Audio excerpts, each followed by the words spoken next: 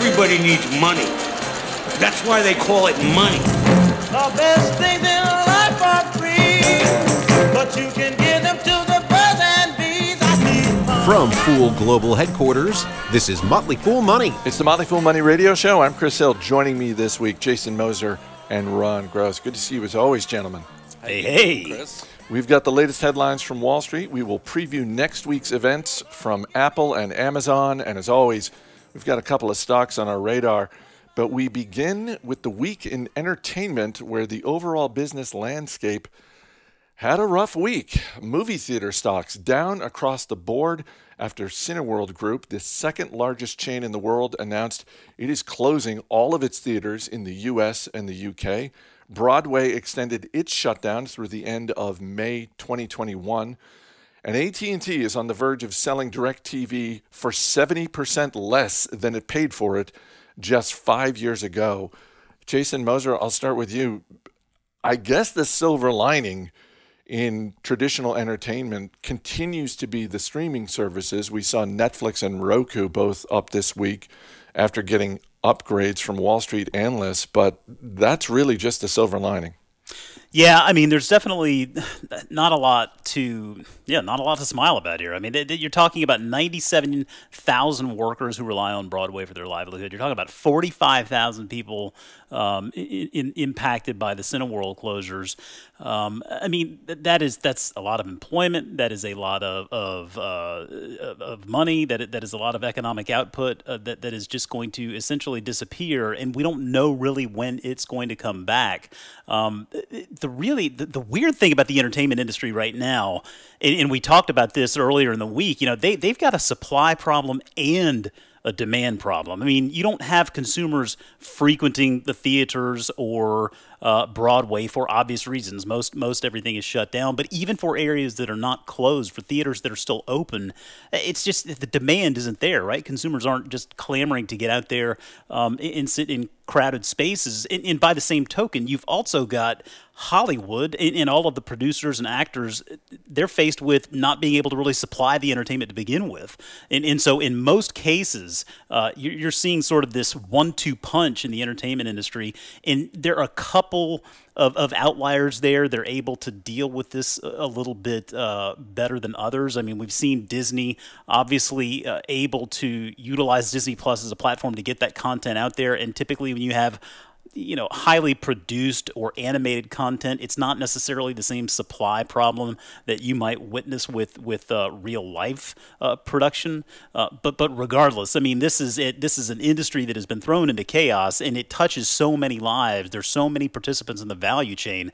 Um, it, it, it's going to be a while. I mean broadway now is going to be closed through may of 2021 that is that's 15 billion dollars of annual economic impact to the city of New York. I mean, that's just that's a tremendous amount of money, and then top it all off with uh, politicians in D.C. who just cannot come together to provide some level of assistance for the folks that need it most. It's just a very frustrating time for a lot of folks, I'm sure. Yeah, you know, most of us don't get to a Broadway show very often, but the the movie business, right? It's a, it's a part of our, you know, some some of our are weekly or if not weekly, monthly kind of social activities, and it's not just consumers' apprehension to get back into a crowded space, as you mentioned, Jason. There's not a lot of blockbuster movies out there, and those that have been produced have been postponed, like a Wonder Woman, for example when the vaccine comes, I think production gets back in gear. And then it's a question of do consumers then feel comfortable getting back into a crowded space sitting next to their neighbor um, and going back to the movies? But with all the wonderful streaming services we have and all the first release movies coming on streaming, it's not as important as it once was. Shares of IBM up this week after the company announced it is spinning off its IT infrastructure division into a new publicly traded company. The deal is expected to close by the end of 2021. Ron, Arvind Krishna's only been CEO for a few months. You think right. this is a good move? I, I do think it's a smart move to unlock the value of the cloud business. It's a quintessential move when you have a slow growth low margin business combined with a faster growth, large opportunity business. From a stock market perspective, if you separate those two, the faster growth, larger opportunity business should receive a valuation that is more impro- appropriate. And uh, when if you don't separate them, what happens is the valuation gets dragged down as a result of the slower business. So that managed infrastructure service, which is the services business, which is the, the less exciting one, will be the new company. It'll have about 19 billion in revenue, so not a small company. 25,000 employees, uh, 90,000 employees, I should say. That's about 25 percent of the total of IBM right now. So the larger piece will be uh, focused on cloud. Um, they'll be able to focus now on the hybrid cloud business, the artificial intelligence business, which was all acquired in that $33 billion Red Hat acquisition in 2019 uh, last year. So th- that opportunity is going to be really exciting. And then the question is instead of trading at nine or 10 times earnings, which is where IBM was before this announcement, does that cloud business get something more like a Microsoft valuation, 30 times, you know, 32 times? Uh, likely, uh, certainly higher than 10. Will it approach something like a Microsoft? Remains to be seen, but I do believe it. It will unlock significant value. Advanced Micro Devices in the spotlight on Friday on reports that AMD is in final talks to buy specialty chip maker Xilinx. Jason, AMD could be paying up to $30 billion for Xilinx. You think this is a good deal? Um, I, I, definitely think it could make sense. I mean, AMD is is certainly in a heated competition with other big companies in the space like Intel. Uh, you got Nvidia buying ARM holdings. I mean, this would be a big acquisition for sure. But I mean, they can finance it easily. Uh, finance it easily via debt uh, or shares or a combination of both. I mean, shares are pretty cheap currency today. Uh, so so I suspect that you know from a financial perspective, it's it's it, it would be an easy pill for them to swallow. Um, I, I mean, AMD and all of these chip companies are really seeing uh, some, some push up in demand as, as this you know digital pandemic economy uh, continues to, uh, to to take front and center. And I think you know, in regard to Xilinx, uh, Xilinx, their forte, they make special, they make these they make these programmable logic devices, right? These things called PLDs are essentially programmable chips as opposed to specialized chips. So they're typically, you can make these more quickly, they're more flexible, they're faster to market than custom silicon chips that a lot of these companies make. And, and it's important, I think, to remember too who their customers are. It's not just data centers. Now, with that said, management for Xilinx made it very clear it is pursuing a data center first strategy to growth, and that's why their data center segment is the fastest growing, it is a big opportunity that we're seeing a lot of companies, including uh, Nvidia, for example, pursuing. Um, but but all in all, I mean, they have a nice diverse com- customer base from industrial to wired and wireless, automotive, broadcast, data centers, of course. Um, we're seeing consolidation in the space, no doubt about it. Scale is a big competitive advantage when it comes to making and designing uh, and implementing these chips. Uh, so I, I, could see a world where Xilinx and, AMD together uh, makes sense.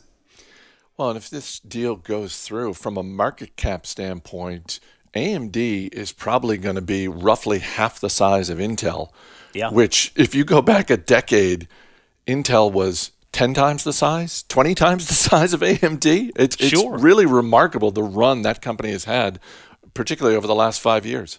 Yeah, and I mean when you consider Intel not really capitalizing, so to speak, on the mobile front, um, it, it that that market cap could have been really a lot greater even than it is today. Amazon and Apple both have big events next week.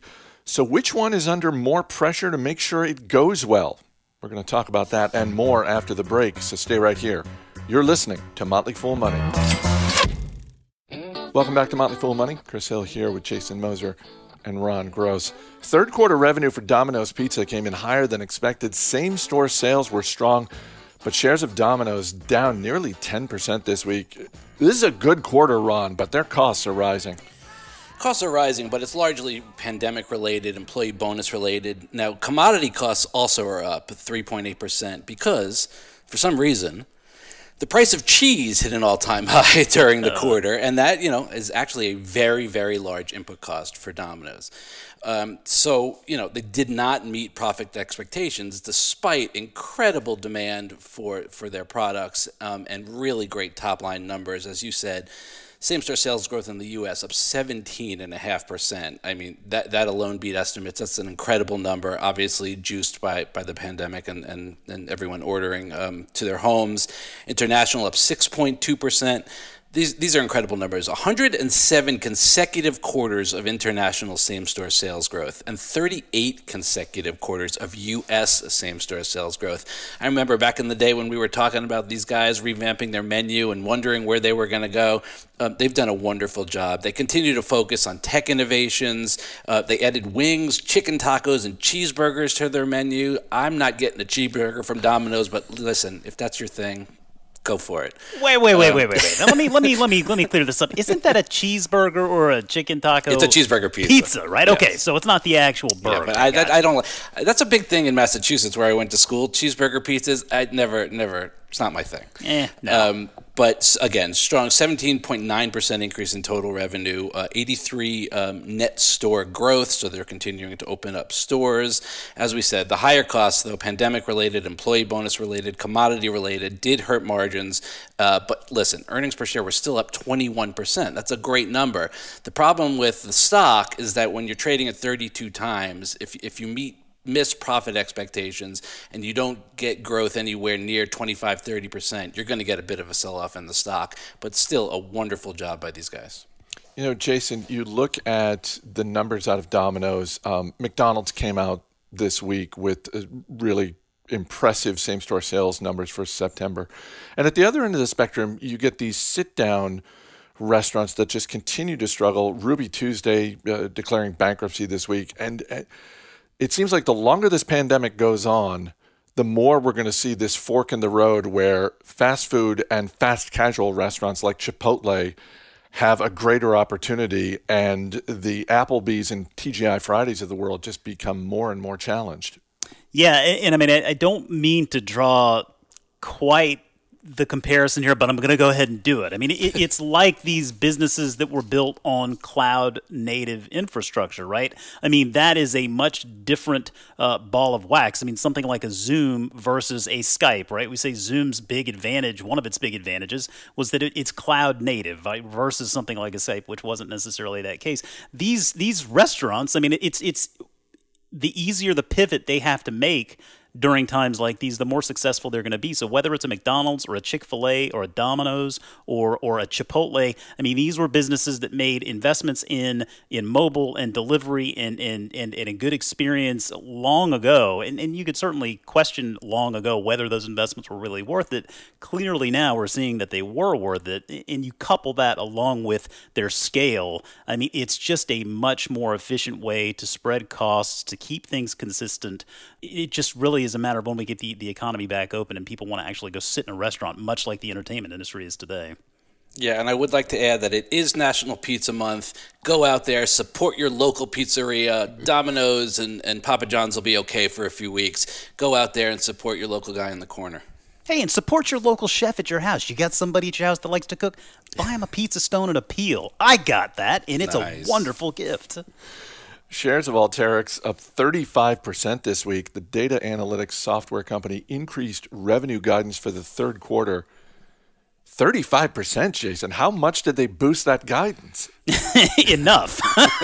um, I, I, think this is a great example uh, of, of where sometimes, you know, when it looks like the chips are down, investing ultimately it's about patience. It's not about perfection. We're not trying to hit home runs every time. Sometimes the market just doesn't operate on our timeline. Um, but but back to your point there in regard to guidance it was just a few months ago where they did yeah they they, they offered up guidance that really didn't meet expectations. Um, fast forward a couple of months they're able to boost that guidance a little bit. It, it was modest but it was enough. Like i said i mean that ranged from 111 million to 115 million. Now they've boosted it to a, a range of 126 to 128 million. Um, you couple that along with a leadership change. The the co-founder of the business, the CEO, uh, Dean Stoecker, is going to step down as CEO. He's going to move over to executive chairman. Uh, succeeding him is Mark Anderson. Uh, he's he's a seasoned vet of, of, the industry, formerly at Palo, Palo Alto Networks. Uh, so so clearly very familiar uh, w- with this line of work. And and I think perhaps the bigger question is folks think how how could that change so quickly in such a short period of time? I think that's a very valid question, but you have to remember with a business like Alteryx, uh, it, it's similar to a business like DocuSign when they're reporting billings as a metric of success, a metric that matters. Billings can be very squishy and very timing related, and and, and you add that to the fact that right now, I mean, things are just all up in the air regarding COVID nineteen. It makes it makes projecting these these numbers uh, far more difficult than, than it would be in normal times. It's not uncommon, but it was nice to see that they were able to get out there, uh, boost those numbers up a little bit. The succession is now that out of the way. They don't have to worry about that question anymore. Um, so it does sound like Alteryx is setting themselves up for success and and uh, like like like the direction that they're headed. This week, Costco said same store sales in the month of September rose 15.5%. Costco's next earnings report isn't due for another two months, but Ron, comps like that, that's got to give investors something to look forward to. Strong numbers. Um, Costco being one of the retail winners during during the pandemic, alongside Amazon uh, and Walmart and Target. 14.5% uh, increase in comps in the US, 17.5 in Canada, e-commerce up a whopping 90%. You know, these, these are big numbers. That that won't be sustainable. But for now, they're doing a doing a really wonderful job. They did get a boost. Two holidays kind of were shifted into the month of September. Uh, Labor Day in the U.S., Moon Festival in Asia, interestingly. Um, so that that gave them a little bit of a boost. But still, incredible numbers. Um, shares are up 25% this year. Stock is not cheap. Hasn't been cheap for quite a while. You're paying a premium for this great company. You're paying like 38 times earnings that that's versus like a Walmart where you can get for 26 times or a Target you can get for 22 times or even a BJ's 17 times.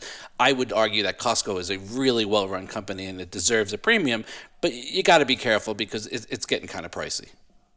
Tuesday, October 13th is going to be a busy day. Apple is holding an event to unveil the iPhone 12 along with updated versions of other devices.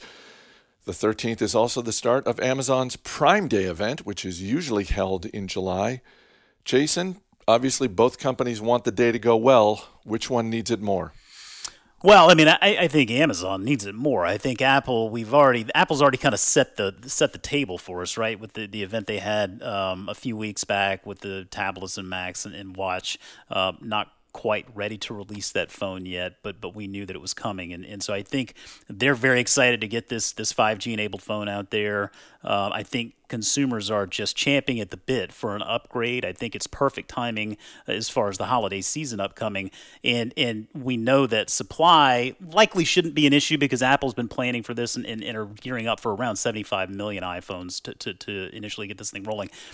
Amazon, I, I, think that ever since the pandemic really started, the big question with Amazon, and we've seen some weakness, some some uh, cracks there in the foundation regarding uh, regarding uh, fulfillment, right, shipping and logistics. It's just not necessarily been as seamless as it has been before. Part of that is due to conditions on the ground, but I think also part of that is due to competition entering the fray, and we're seeing a lot of success from companies like Wayfair and Chewy, uh, uh, Etsy, for for example. That they're certainly uh, following that Amazon blueprint to a degree. What do you think, Ron? Yeah, you know, I think you know Amazon. It's their business, the fulfillment, right? So if, if they if they mess that up, their business is in serious jeopardy. It'll be interesting to see is this actually the launch of the holiday season, the early launch of the holiday season, and it will be a test run to see how they do. Apple, on the other hand, needs to continue to be innovative forever, not just stick to their knitting and do what they do. Um, so it's always important every year to see what Apple has has out next, whether it's the iPhone 12 or the over the air uh, head AirPods. Um, but I think Amazon's got something to prove here with in terms of fulfillment.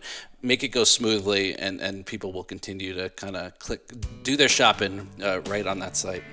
All right, guys, we'll see you later in the show. Up next, a conversation with Roger Martin about why businesses shouldn't focus too much on any single metric. Stay right here. This is Motley Fool Money.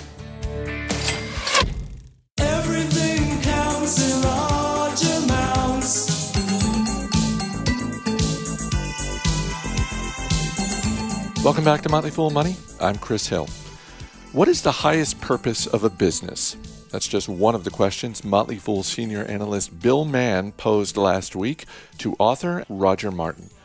They talked about Costco, why it's bad for businesses to focus on any single metric, as well as Roger Martin's newest book. Your newest book, which is called When More Is Not Better Overcoming America's Obsession with with economic efficiency came out just this last month, correct? It's been just very two recent. days ago. Two, days, ago, which was last month. So Yeah, I, I, good gonna- point. Good point. I'm going to ta- I'm, The I'm going 29th. to say on a technicality that I'm on it. Did you? So we have been talking in the Motley Fool live con uh, um, uh, construct. We've been talking since March, and then even before that, about the danger that has in the fragility that has been that has been introduced into American businesses by being so focused on shareholder capitalism. Yeah.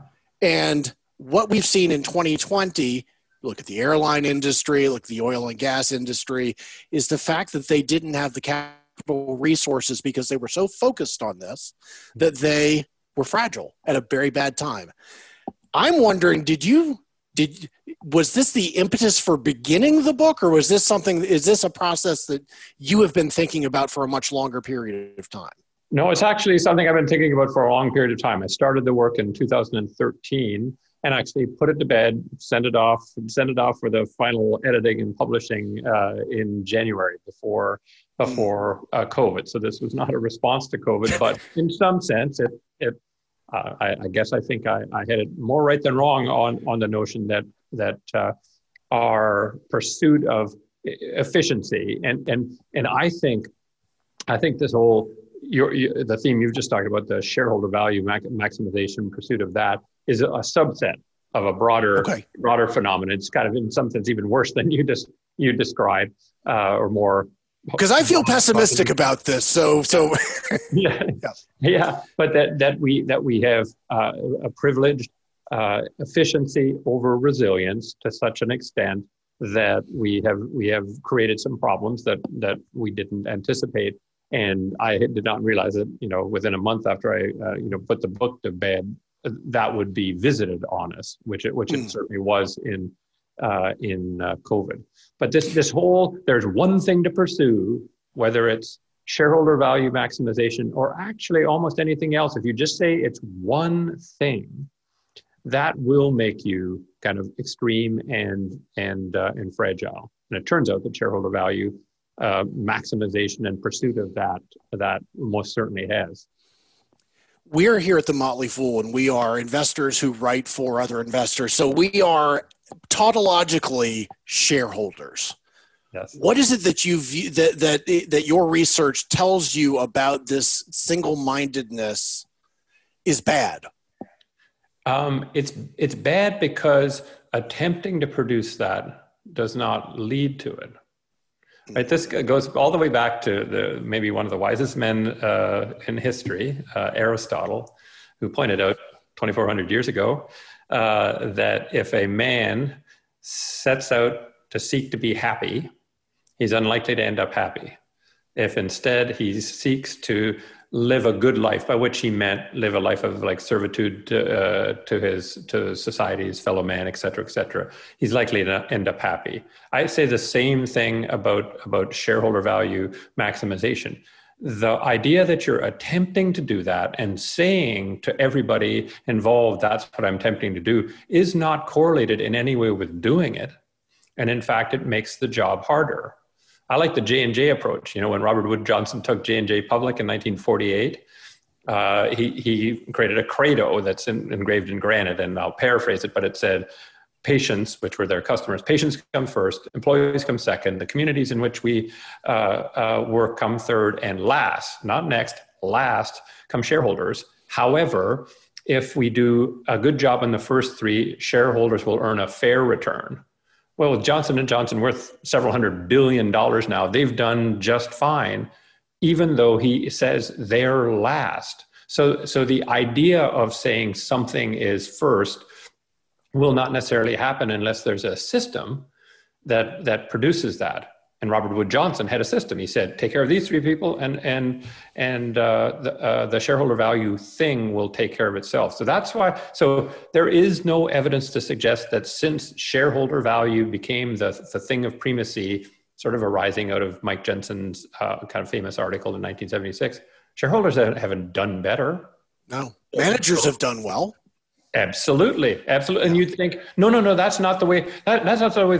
We align their interest with shareholders with stock-based compensation. This is this is all supposed to work well, but no, it turns out it turns out that that doesn't improve uh, kind of shareholder value. In fact, as I've written in several several other artic- uh, articles and, and, a book, uh, stock-based compensation actually puts shareholders and managers uh, in opposition uh, to one another. Um, yeah. So so it's just these simplistic things in, in a very you know in a very complicated world and i don't want to overstate it but in a in a in a complicated world you just can't have those singular objective functions. That's why robert wood johnson is smart. Southwest airlines is smart. They say here's what we want. We want to be the lowest cost highest customer satisfaction highest employee satisfaction and most profitable airline. And you'd say you got to be kidding me. Those are like internally inconsistent, contradictory. How the heck do you get to be low cost and having high employee satisfaction? The answer is in one word cleverness. You've got to find a clever way to, to balance the, the, those uh, uh, things out. So they say, well, here's what we're going to do. We're going to simplify the system so that we can actually have fewer employees per passenger seat mile, uh, not because we work them harder. Uh, yes, they work on a variety of things, but we simplify the things so that we can pay them more than anybody else. So they're deliriously happy to work for us, which will make customers uh, uh, happier. It'll make each other happy because they all come to work uh, kind of happier than at the other airlines. So that it, it it's a complex world, mm. right?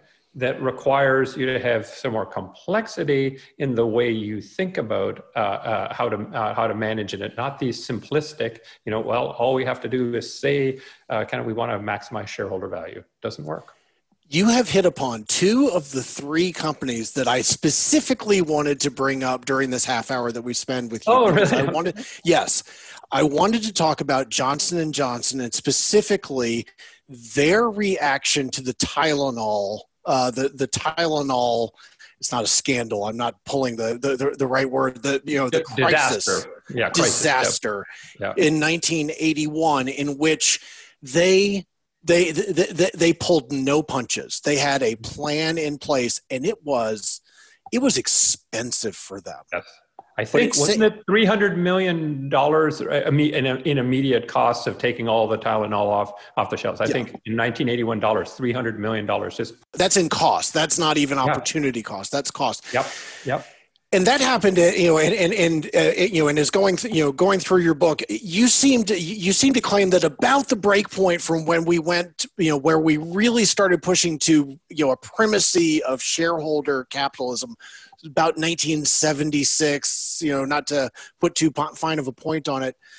Would if you were to re-extrapolate was J&J's response in the early 1980s the same type of response that you would have expected to see from a company in 2018 where that singular focus was much more in place. Yeah no if with the singular focus in place i, I, I would have expected them to say well we got to be careful here. We got to not take any steps that would cost us you know kind of too much uh, money in this quarter. Uh, right that that that's that's what would have been the case, and and uh, they'd have taken whatever the hit was to the reputation of the of the product, right? In this case, the you know as history has shown, the extremeness of their res- response. We're going to take it all off the shelves, and we're going to go to all these lengths. We're going to we're going to create three layers of of protective seals and everything. Everybody sort of said, "Wow, is Tylenol ever safe?" Whereas right. they would have left it on the shelves and said, "Well, just be a little careful. If it tastes a little funny, maybe you shouldn't swallow." You know, that's right. Have... if you swallow it and it was bad, don't swallow it. yeah, yeah, yeah. Exactly, exactly. Some really helpful, helpful advice. You know, it. We probably wouldn't. We, we would probably rec- hardly recognize the Tylenol brand because it would be gone. Right? It would yeah. be one of those those uh, crippled. Uh, brands maybe maybe uh, limping along. So so yeah, I think I mean that's that's that's just the problem. And and you know as I, I, I always when i'm talking about this challenge people i say well do, do, you do you operate with a single objective function in in in your life? It's all about my work. Yeah No, it, it's oh, I have to I have to balance these things. I want to do what I need to do to you know get ahead and have a good career, but also you know take care of my family and and and my home life and and you know you know my whatever aging parents and whatever. You you have to balance these things. So why is it notionally that companies can't? Right. That was the argument that Milton Friedman in 1970 and Mike Jensen uh, later later on 76 and uh, some other ar- ar- articles said you have to have one objective function or everything will go uh, go to pot. Uh, cats and dogs sleeping together. You know, it, it's going to be a, it's, it's going to chaos chaos. and and I'm and I'm sort of thinking like, uh, gee, uh, so every individual in the world has to do that balance a bunch of a, a bunch of things to live a, live a decent life. Why is it that individuals can and this entity called a corporation for sure can? It would be imp- impossible. And, and it's just it but it ruled the day. It, it absolutely ruled the day. The notion that that is what if you're a good strong manager you will have a single objective function and you will focus everything on that.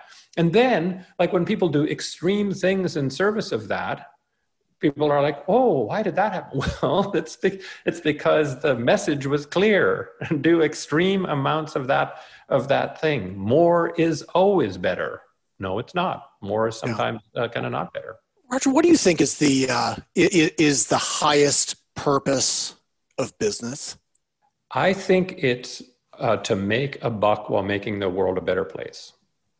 Right. So uh, it's to earn, you know, uh, a return for shareholders that makes shareholders say, "I'm glad I gave the company the the, the money," and the bond bondholders, by the way, all capital providers. I'm glad right. I gave them the money, uh, and and uh, the people in the company can say, let's say 10 years later, you know, the world is better in the following uh, way. They have a product or service that makes their lives better that they didn't have 10 years ago, and we didn't wreck the economy to do it. Uh, we created jobs uh, that, that are above the living wage uh, so that whoever was the, the worker, whether it's a husband, the wife, they could help you know pay for their children's education to better them. So it's that again it's two things. It's you have to make a buck and make the world uh, a better place. Yeah. As i you know as i've going as i've gone through your writings and as as i've gone through this book the the company that i kept coming back to and it's a and it's a it's a stock that i've held since the 90s and very happily so is costco.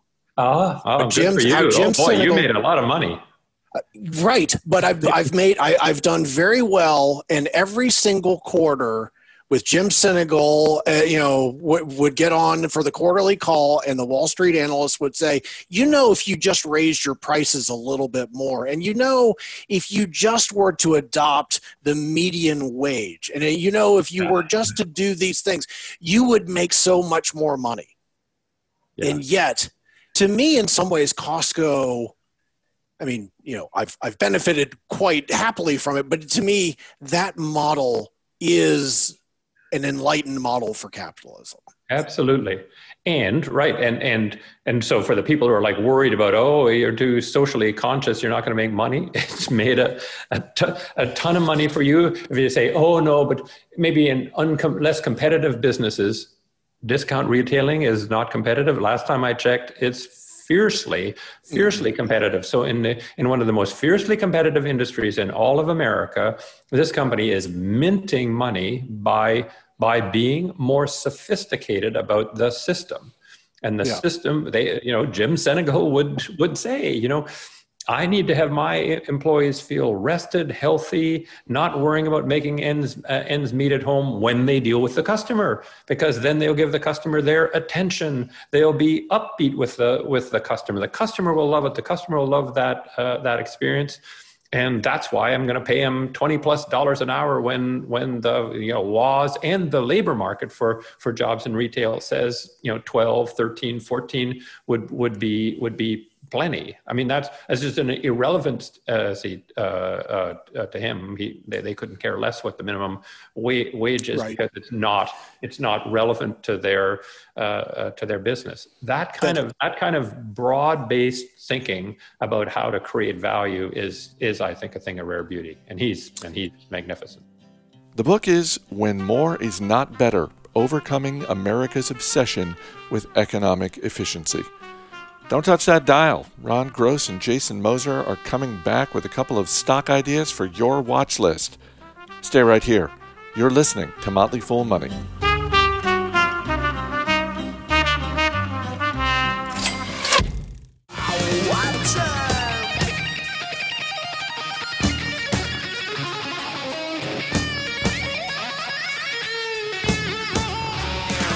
As always, people on the program may have interest in the stocks they talk about, and the Motley Fool may have formal recommendations for or against, so don't buy or sell stocks based solely on what you hear. Welcome back to Motley Fool Money. Chris Hill here once again with Jason Moser and Ron Gross. Guys, with the holidays coming up, it is never too early to think about what to get that special investor in your life. Go to shop.fool.com for best selling items like Motley Fool hats, shirts, fleece, full zip sweaters, and more. That's shop.fool.com. It is the only place in the world you can buy the official Motley Fool Money mug. Let's get to the stocks on our radar. Our man behind the glass, Steve Broido, is back. He's going to hit you with a question. Ron Gross, you are up first. What are you looking at?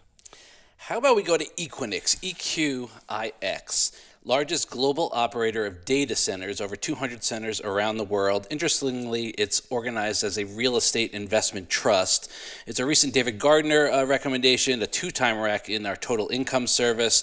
Uh, they continue to capitalize on growing data consumption, increased cloud outsourcing, growing device counts um, that we all have.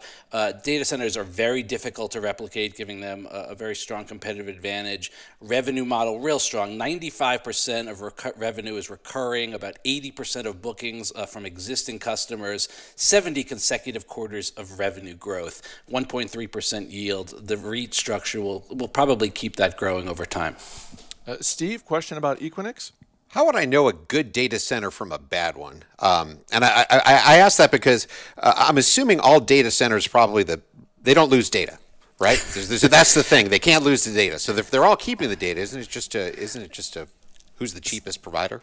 It's uh, just like real estate: location, location, location. You want them spread out. You want them in key centers. It costs money to build these things, so location is key.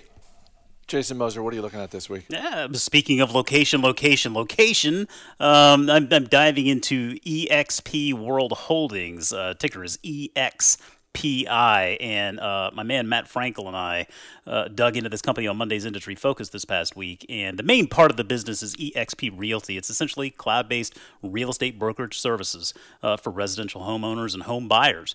Uh, so we certainly know that, that real estate is moving online. It does uh, feel like it has been slow to disrupt, but it is happening uh, nonetheless. And the numbers that uh, EXP continues to lob up, they're pretty impressive. Uh, if you look at the number of agents and brokers on the platform, that grew from 20,162 a year ago to 31,091 at the end of the second quarter in 2020. And uh, the, the residential transaction volume closed for the second quarter of, to, of 2020 increased 26% to $13 billion.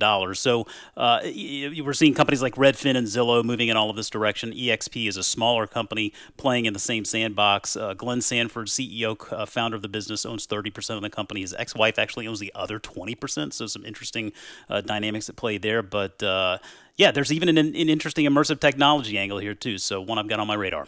Steve? Do traditional realtors want to embrace tools like this? No, and I think that's why it's been so slow to develop. It is taking money out of their pockets. What do you want to add to your watch list, Steve? I think EXP. I think it sounds interesting. Yeah, All right. Jason Moser, Ron Gross, guys, thanks for being here. Thanks, Chris. That's going to do it for this week's edition of Motley Fool Money. The show is mixed by Steve Broido. Our producer is Matt Greer. I'm Chris Hill. Thanks for listening. We'll see you next week.